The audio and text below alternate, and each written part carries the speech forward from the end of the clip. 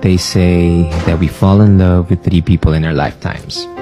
The first one is the puppy love, the fairy tale love, the one that we think would last forever. But it won't, because we'll soon learn that fairy tales don't exist.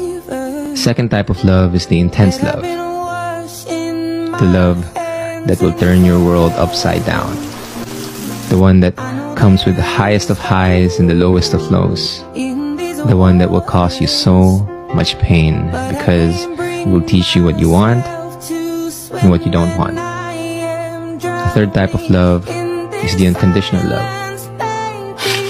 The one that will stay. The one that will make us feel loved, adored, safe and secure. The one that we didn't see coming but will make us feel home. So, what type of love are you in?